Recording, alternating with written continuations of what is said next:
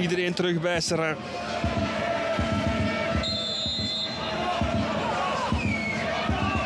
de Hermans. Eerste paal verlengen en dan die bal binnen. En dan staat het 0-1. En dan is iedereen verrast bij Serrain. En dan scoort de Hermans zijn zevende van het seizoen.